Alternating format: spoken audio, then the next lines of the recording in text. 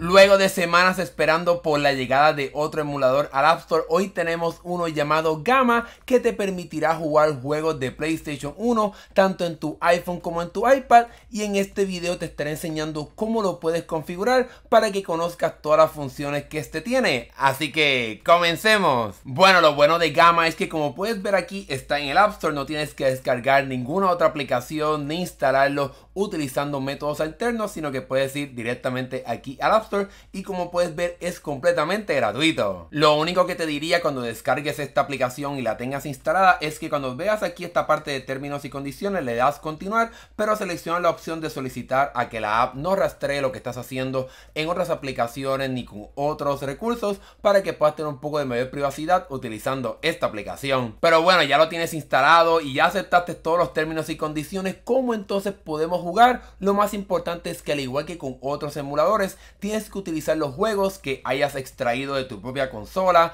con tus propios juegos. Ya yo hice eso y tengo una carpeta que moví directamente a mi iPhone. Vamos aquí a buscarla, yo la moví y la transferí. Vamos aquí a buscar juegos de PlayStation 1. Estos son mis propios juegos que yo saqué de mi consola. Y como puedes ver aquí puedo seleccionar los juegos y le doy aquí al botón de abrir y se estarán incorporando directamente a la aplicación para que puedan funcionar sin ningún problema. Ahora bien, lo más importante de los juegos que extraigas de tu consola es que te asegures de extraerlos utilizándolos en el formato .bim. Hay veces que puedes extraerlo utilizando otro formato como .iso. Es muy importante que extraigas tus juegos utilizando el formato .bim porque por lo menos en este emulador es el único formato que permite utilizar. Bueno, ya tienes tus juegos en el emulador, pero digamos por ejemplo que no quieres esta carátula de este juego de Crash Bandicoot, pues al igual que como puedes hacer en Delta, puedes dejar el dedo apretado y seleccionar la opción de cambiar el, el arte de este juego. Puedes utilizar fotos que tengas en tu galería o puedes utilizar la base de datos de ellos, que es una muy buena. Aquí voy a buscar Crash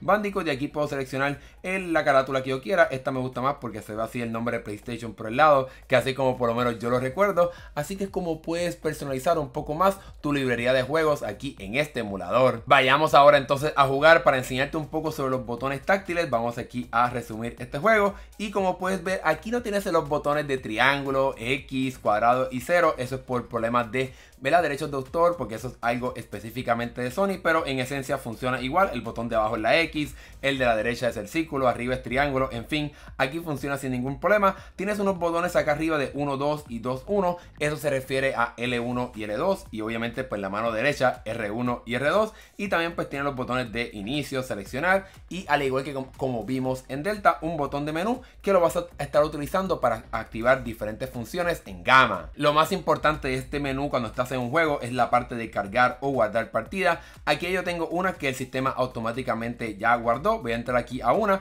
y como puedes ver me puedo mover sin ningún problema. Voy aquí a adelantar un poquito y digamos que estoy en una parte un poco difícil, pues puedo apretar aquí el botón de menú y cargar esa partida. Vamos aquí a crear una nueva y obviamente pues cuando regrese pues puedo moverme un poquito más adelante y entonces ahí va a ver que puedo regresar a ese punto específico. Vamos a cargar esa partida y como puedes ver vuelvo a ese punto específico. Así que esto es una función sumamente importante para que puedas guardar lo que está pasando en tu juego y regresar a jugar. Además de obviamente guardar en el juego oficialmente para que tengas doble alternativa a la hora de jugar en este emulador. Lo otro que también puedes activar en el botón de menú es hacer el juego un poco más rápido obviamente en este caso de Crash Bandicoot no sería la mejor alternativa porque este juego requiere, ¿verdad? Que hagas diferentes movimientos bastante rápidos, pero digamos que hay una parte que es un poco lenta, una parte de historia, en fin, cuando quieras utilizarlo puedes apretar este botón de menú y activar el botón de ir más rápido para que tengas esa alternativa a la hora de jugar. Bueno, ya te enseñé cómo puedes jugar con este emulador, pero vamos ahora a personalizar un poco de estos skins y estos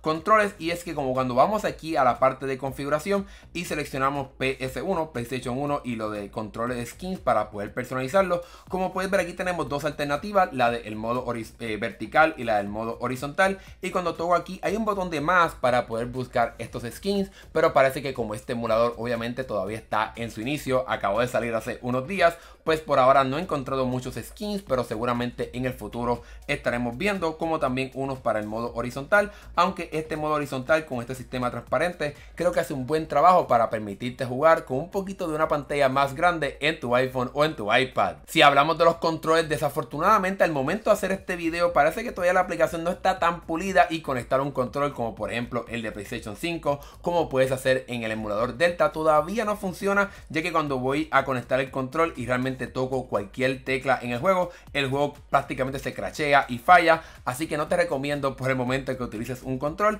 pero al igual que como vimos en Delta, cuando vas aquí al tipo de control y seleccionas Player 1, te va a permitir, se supone, personalizar el control como funciona en Delta, pero al momento de hacer este video esa función no está disponible, al igual de que tampoco está disponible la función de jugar con dos controles a la misma vez en este emulador para que puedas jugar juegos de multijugador en Gamma, así como puedes hacer en Delta. Otra función sumamente importante de Delta para mí es la de las copias de seguridad y aunque tiene el mismo sistema de Delta, parece que todavía no está 100% pulido en esta primera versión y cuando intenté añadir mi servicio de Dropbox no funcionó, así que por el momento asegúrate de que tu teléfono no se te pierda, ya que no vas a poder tener copias de seguridad de tus partidas en la nube, ni tampoco transferirlas fácilmente entre tu iPhone o en tu iPad, como puedes hacer en el caso de Delta. Y por último, al igual que en Delta, también tienes que asegurarte de cuando estás jugando, activar esta función para que el teléfono eh, reproduzca el sonido cuando tengas el teléfono en modo de silencio. Así que asegúrate de activar esta función, como mismo vemos en Delta,